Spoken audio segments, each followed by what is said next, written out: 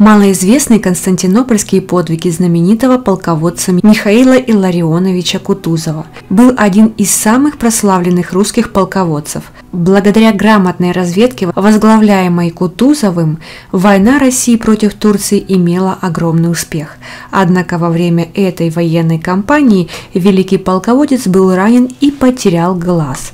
По личному распоряжению императрицы Екатерины II Кутузова отправили на лечение и реабилитацию за счет государственной казны.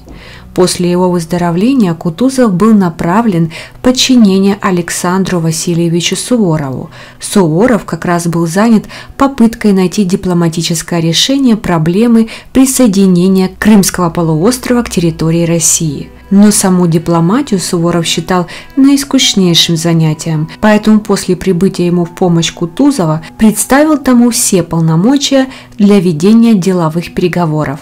Мало кто знает, что помимо военной деятельности Кутузов обладал редким даром дипломата. Вот так 26 сентября 1793 года Михаил Илларионович оказался в Стамбуле, который русские продолжали величать Константинополем. Кутузов понимал, чтобы его миссия имела успех, ему было необходимо многому научиться. Ради этого посол выучил турецкий язык и местные обычаи. Мусульмане очень ценили образованных людей. Недаром в Османской империи особое внимание уделяли образованию наложниц и слуг, которые были особо приближены к династической семье. Так что старания Кутузова были по достоинству оценены турками. К тому же свое прибытие полководец обставил со доступной помпой и торжественностью. Его посольство добиралось до Стамбула весьма неспешно. Официальной причиной такой неторопливости выступали старые старые боевые раны Кутузова, которые якобы не позволяли ему двигаться более поспешно. Но в действительности, как и подобает великому полководцу и непревзойденному аналитику, Михаил Илларионович воспользовался своим неспешным путешествием к столице империи, чтобы досконально изучить местные реалии, увидеть воочию настроение коренных жителей. Им было подсчитано количество обороноспособных крепостей и наличие вооружения османских войск. Также он запомнил весь пройденный маршрут и проанализировал его, смог понять наилучшие места стоянок для войск в случае вооруженного конфликта – Вся его свита была также очень грамотно подобрана, поскольку императрица Екатерина II дала полководцу полный карт-бланш на все действия и всего лишь поставила цели, не уточняя методы их достижения, Кутузов ответственно подошел к набору людей в своем сопровождении для посольства к туркам. В состав делегации вошли только самые доверенные люди, отобранные лично Кутузовым.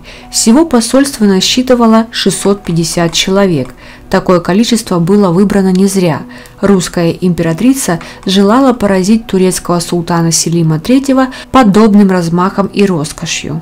Ведь содержать 650 человек было очень дорого.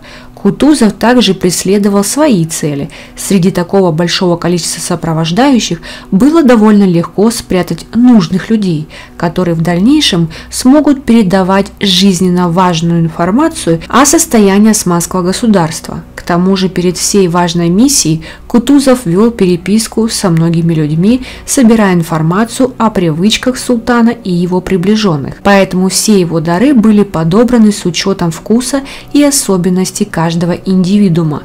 Прибыв наконец в Стамбул, Кутузов был встречен с почетом и подобающей пышностью. Турки очень уважали храброго воина и постарались это выразить, организовав шикарный прием. Для полководца были приготовлены богатые подарки. В дар ему преподнесли 9 отрезов красивейших тканей, прекрасную кофейную чашку с алмазами и украшенную драгоценностями табакерку. В знак особого уважения султан поселил русского посла в шикарном дворце, из окон которого открывался вид на пролив Босфорт и бухту Золотой Рог. Несмотря на оказанный прием и богатые подарки, Кутузов прекрасно видел, что в Османской империи настали трудные времена – Традиции, введенные во время правления женского султаната, решать все вопросы с помощью взяток, стали причиной упадка Великой империи. Правители тоже были уже не те, что раньше.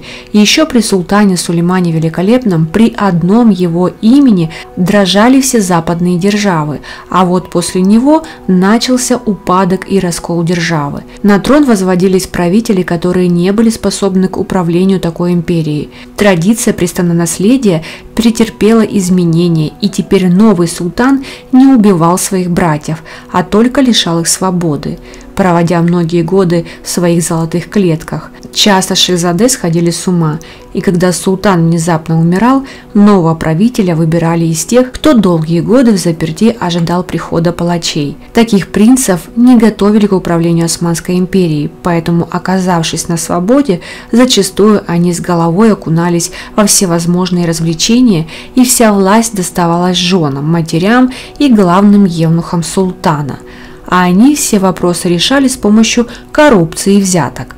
Кутузов был готов к этому, поэтому для подкупа нужных людей привез с собой немало подарков и денег.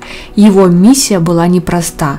Главной задачей было сохранить мир между двумя державами и наладить новые торговые отношения. Но никто из европейских королей и аристократов не хотел усиления России, а сама Османская империя уже не вызывала такого ужаса и трепета, которым славилась в былые годы поэтому союз с Россией для Турции тоже был выгоден. Вот только французы и англичане были против заключения этого союза. Австрия тоже не была в восторге от намечающейся перспективы. И вот 1 ноября русский посол удостоился аудиенции у султана Селима III – в отличие от своих предшественников, Селим III находился в здравом уме и пытался наладить взаимоотношения с другими государствами. Дары Кутузова пришлись ему по душе.